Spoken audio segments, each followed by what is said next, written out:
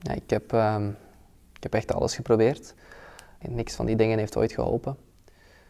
Niks gewoon. Voor zover dat ik weet is dat een probleem dat, dat er eigenlijk altijd is geweest. Mensen die zich daar niet in kunnen vinden, die, die, ja, die zien nu als een outsider. Die, die accepteren dat gewoon weg niet. Ik, ik denk dat je dat zeker als illegaal zou kunnen beschouwen, ja.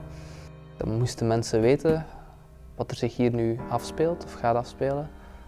Ehm, dat dat zeker voor problemen zou kunnen zorgen, ja. Deze, deze is echt de laatste keer. Dat is, het is een te groot probleem aan het worden. Dat over slapen, dat te laat in de les zijn. Het kan niet meer. Vanaf nu kampeer ik gewoon hier. Uh, morgen is toch herfstvakantie? Herfstvakantie? Is dat morgen herfstvakantie? Doe me, hè.